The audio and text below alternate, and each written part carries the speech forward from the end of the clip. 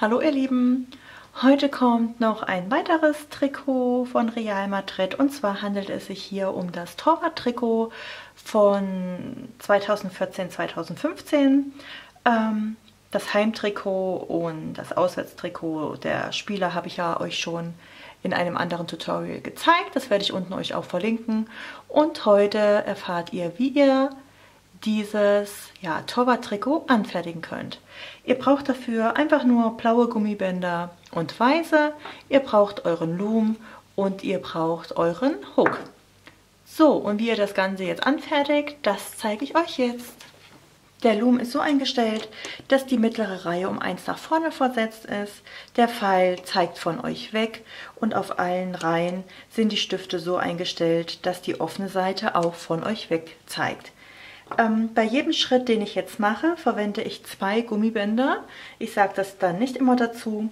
Also ihr müsst immer zwei Gummibänder nehmen, um, ja, damit es so ein schönes, ähm, dickes Torwart-Trikot entsteht oder ist. So, und dann fangen wir an.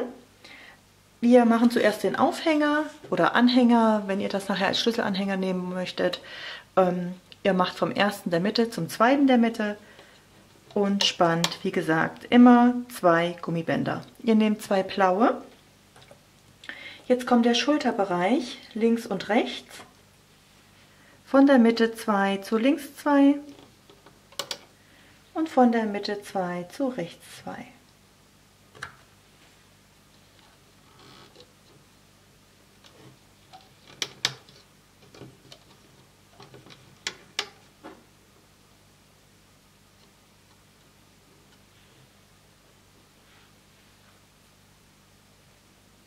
Jetzt kommt einmal komplett blau von links nach rechts.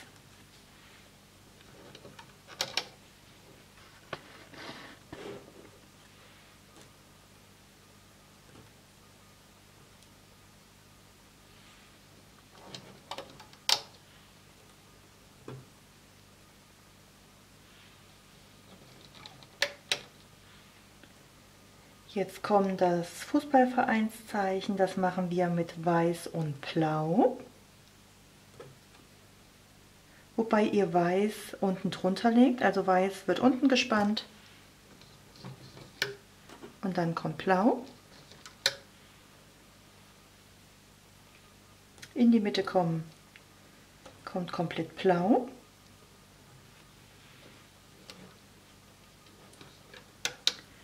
Und rechts zwei weiße für die, ich glaube Adidas Werbung ist es.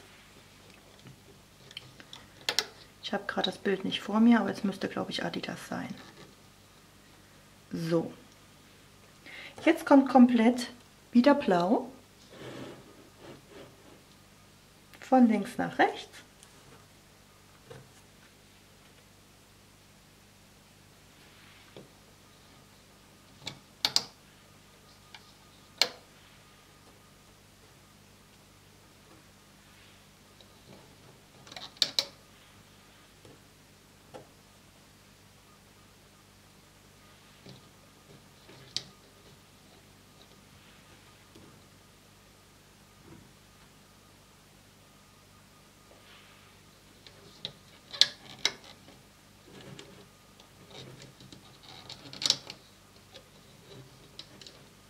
Mache ich nochmal neu in der Mitte, das war so verdreht. So, jetzt kommt die nächste Werbung und zwar ist das die äh, Fly Emirates. Da fangt ihr an mit links zwei blaue. In der Mitte weiß.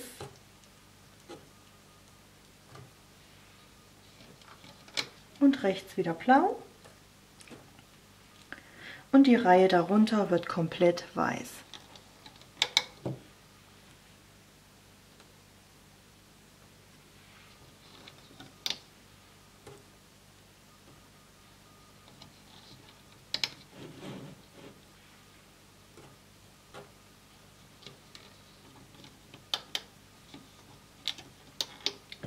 Jetzt kommt eine komplette Reihe blau.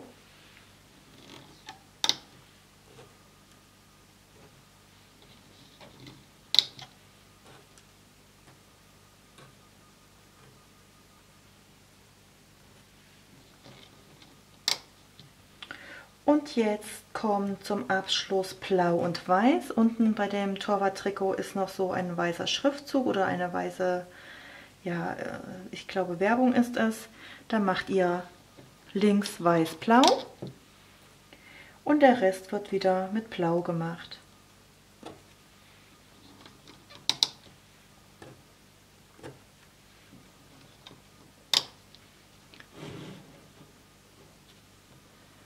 So, also weiß-blau, blau-blau. Und jetzt kommt der Abschluss des Trikots. Ihr macht von links zur Mitte und von rechts zur Mitte macht ihr jeweils mit blau.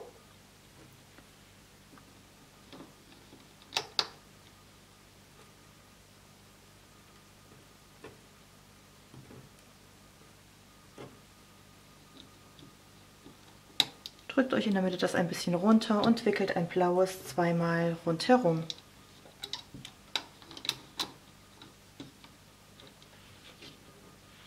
So, jetzt kommen wir zu den Zwischenstücken. Das Trikot muss ja Halt haben, dass das so schön zusammen dann ist. Wenn wir die Zwischenstücke nicht machen würden, dann wären diese einzelnen Reihen ja komplett, könnte man was durchstecken.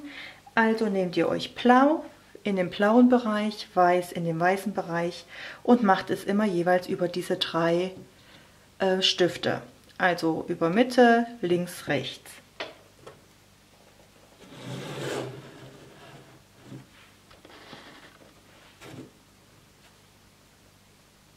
Ihr macht Mitte, links, rechts oder halt rechts, links, Mitte, wie ihr das am besten könnt, so dass ein Dreieck entsteht.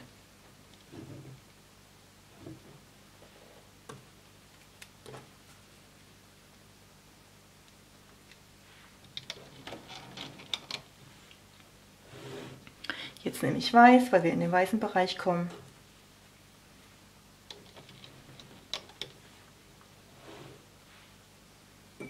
Nehme ich wieder blau.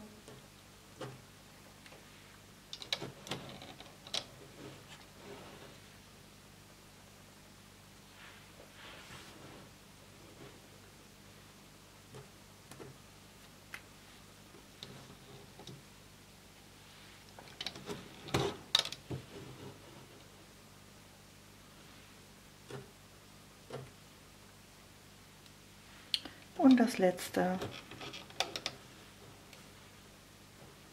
bis hierhin. Hier oben, das bleibt frei, weil sich ja hier dann alle treffen und somit ist das dann ja eh geschlossen. So, so sieht das jetzt im Endeffekt aus, das eigentliche Trikot. Und jetzt müssen wir nur noch die Ärmel anfertigen. Dafür geht ihr hier in den unteren Bereich. So, ihr nehmt euch ein weißes und ein blaues und spannt es von diesem Stift zu diesem. Dann noch einmal weiß-blau.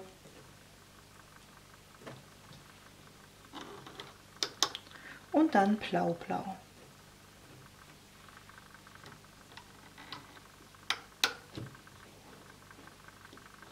Unten umwickelt ihr es zweimal oder dreimal, was euch besser gefällt, mit einem blauen rundherum wenn ihr es dreimal wickelt, wird ähm, der Ärmel hier unten etwas äh, fester.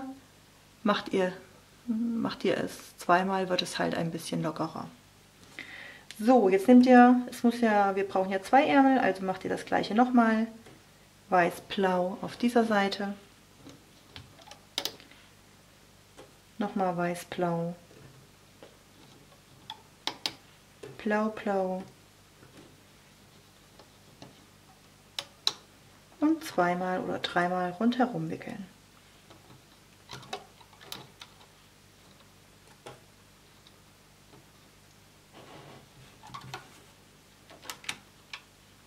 So, das ist jetzt das eigentliche, was ihr benötigt. Und jetzt geht es ans Volumen.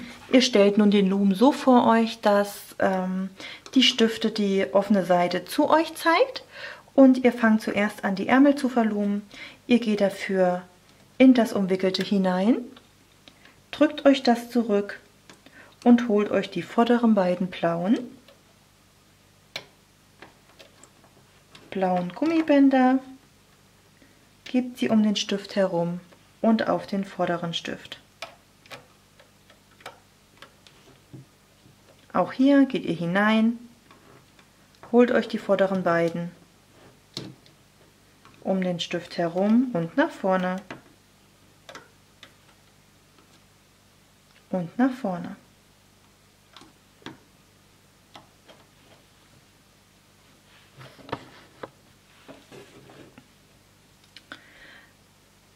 Haben wir wieder das Umwickelte zurück, die zwei unteren holen und nach vorne.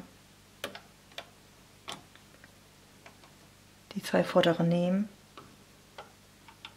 und nach vorne. Die beiden vorderen und nach vorne. So, jetzt nehmt ihr die Ärmel erstmal ab. Also ihr nehmt einen nach dem anderen. Erst den einen, zieht ihn euch herunter, bringt ihn euch ein bisschen in Form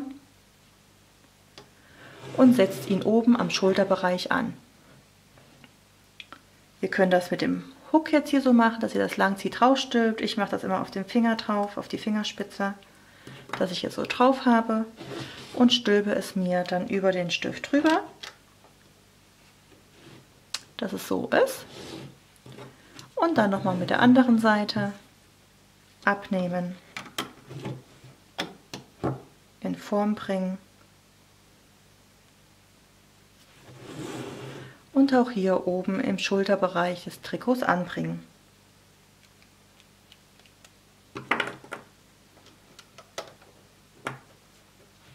So. Und jetzt können wir ans Volumen gehen. Ihr geht dafür wieder an das untere Ende von eurem Trikot. Und jetzt ist es wichtig, dass ihr der Reihe nach verlumt. Ihr habt hier unten eins rundherum gewickelt und dann seht ihr, dass ähm, die Gummibänder der Reihe nach dann verlumt werden müssen. Das heißt, dass es kommt das Umwickelte, dann kommt das, was von rechts kommt, dann kommen die Gummibänder von links und dann kommen die Gummibänder von unten. Das heißt, wir holen uns zuerst die Gummibänder, die von rechts kommen. Ihr geht hinein, zieht euch das Umwickelte zurück und holt euch die beiden Gummibänder, die von der rechten Seite kommen. Am Anfang ist es noch ein bisschen knifflig. Ihr haltet euch das hier so ein bisschen fest, zieht die Gummibänder raus, sodass das Umwickelte nicht unbedingt abgeht.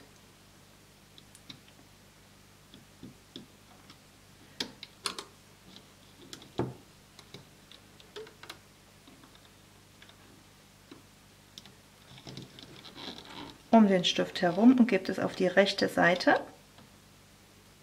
Das ist eigentlich nur am Anfang so ein bisschen schwieriger, weil dann ist es eigentlich recht einfach. Jetzt geht er wieder hinein, drückt euch das zurück und holt euch die Gummibänder, die von links kommen. Auch hier um den Stift herum und zur linken Seite geben. Jetzt fehlt noch die Mitte die holt ihr euch die zwei Stück, die von vorne kommen, gebt es um den Stift herum und nach vorne. Dass es so aussieht. Und jetzt fangen wir mit der rechten Seite an. So, jetzt habt ihr die Gummibänder hier drauf liegen und ihr benötigt aber nur die vorderen beiden. Das heißt, ihr drückt alles in diesem Stift zurück, was nicht mit den vorderen beiden zu tun hat. Also alles zurück. Und jetzt holt ihr euch die zwei, gebt sie um den Stift herum und nach vorne. Hier ist es wichtig, jetzt kommen ja diese Mitte, die die ganzen äh, drei Reihen zusammenhalten. Auch die Stücke müsst ihr zurückdrücken sodass ihr nur an die vorderen beiden drankommt. Nehmt ihr diese nicht mit zurück, fällt euch nachher das Trikot auseinander oder hat dementsprechend halt Löcher. So, also alles zurückdrücken und nur die vorderen beiden holen, um den Stift und nach vorne. Alles zurück, die vorderen beiden um den Stift herum, nach vorne. Alles zurück, die vorderen beiden und nach vorne. Achtet darauf, dass ihr auch wirklich die beide, beiden nehmt und nicht eins hängen lasst, weil auch da fällt euch das Trikot nachher auseinander. Alles zurück.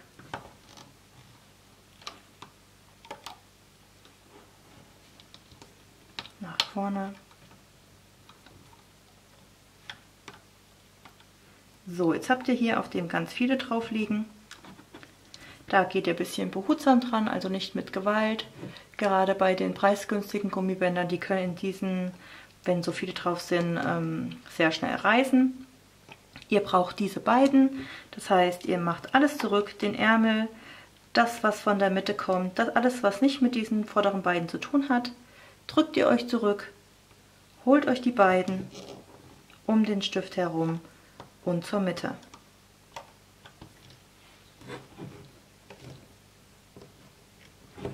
Jetzt geht ihr wieder ans untere Ende und geht auf die linke Seite und macht das gleiche Spiel nochmal. Ihr geht hinein, drückt alles zurück, was nicht mit vorne zu tun hat. Gebt es um den Stift herum und gebt es auf das vordere. Wichtig hier bei der Mitte wieder auch diese mit zurückdrücken und nur die unteren beiden holen.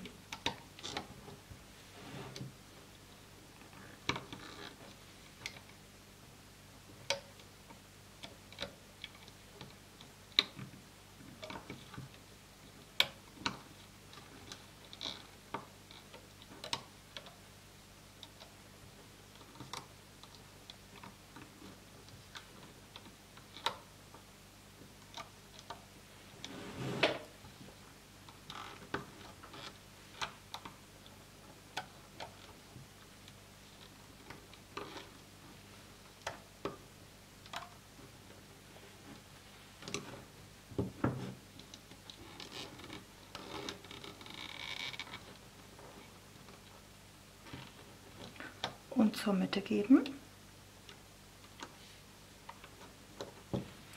Jetzt bleibt noch die Mitte übrig. So, hier unten, die haben wir ja schon gemacht. Und jetzt geht es hier ganz einfach. Hier geht ihr einfach hinein und holt euch die vorderen beiden. Hier müsst ihr nichts groß zurückdrücken. Hier ist alles ganz einfach. Ihr könnt euch hier unten die beiden schon lösen, links und rechts, damit sich das nicht so unnötig straff zieht.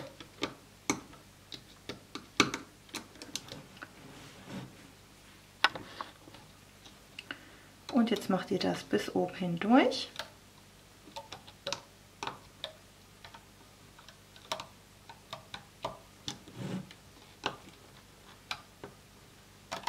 Bis ihr hier seid.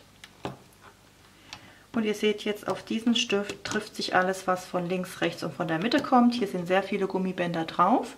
Und diese beiden Gummibänder äh, also ist dafür da, dass das Ganze jetzt sozusagen zusammen ähm, gemacht wird, damit das Trikot nicht auseinanderfallen kann. Und gerade wieder, ich sage es nochmal, wenn ihr jetzt diese preisgünstigen Gummibänder habt, hier müsst ihr sehr, sehr vorsichtig sein, weil meistens ist es so, dass es jetzt reißen würde. Ich verwende halt immer die originalen Rainbow Loom, die sind sehr stabil und ähm, es ist bei mir also noch kaum etwas gerissen. Ich glaube sogar noch gar nicht, ich weiß es nicht mehr. Aber ähm, wenn ich halt immer probiere und für euch voranfertige, dann nehme ich diese günstigen Bänder und da passiert es schon oft, dass mir hier äh, viel reißt. Und ähm, ja, deswegen, wenn es euch irgendwie finanziell möglich ist, ähm, würde ich euch die Rainbow Loom Gummibänder empfehlen.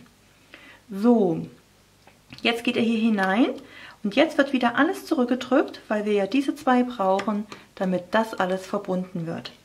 Ihr macht das jetzt zurück Holt euch die vorderen beiden um den Stift herum. Ihr seht, was da für eine Spannung dahinter ist. So, jetzt gebt ihr das hin. Und jetzt habe ich das ja noch nicht richtig rum, äh, rumbekommen, weil da zu viel Spannung drauf ist. Jetzt gehe ich hier nochmal hinein und drehe mit meinem Hook einmal so oder zweimal um diesen Stift herum, damit sich das Gummiband hier vorne lockert. So, und dann hätten wir es eigentlich auch schon und können das Trikot abziehen. Hier ist ja sehr viel Spannung drauf, also könnt ihr mit dem Hook oder mit eurem Haken das euch schon herunterholen. Ganz vorsichtig aufpassen, dass hier vorne das nicht abgeht, weil dann wäre das Trikot, ja, wird es auseinanderfallen. So, jetzt geht ihr hier mit eurem Haken hinein, nehmt euch die oberen Gummibänder drauf und jetzt zieht ihr ganz langsam euer Trikot ab. Auch wenn ihr es abzieht, schön vorsichtig, schön langsam.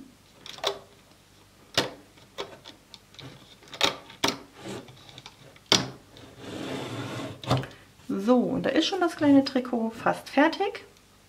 Ihr habt hier oben zwei Gummibänder auf eurer Hakenspitze hängen. Das heißt, ihr nehmt das jetzt, zieht, also ihr zieht die vorderen beiden durch die hinteren beiden und zieht es fest, sodass ein Knoten entsteht.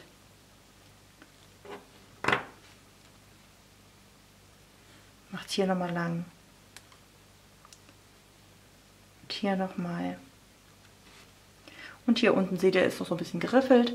Da zieht ihr das Trikot so ein bisschen lang. So, dann ist das alles schön in Form. Und fertig ist euer Torwart-Trikot von Real Madrid.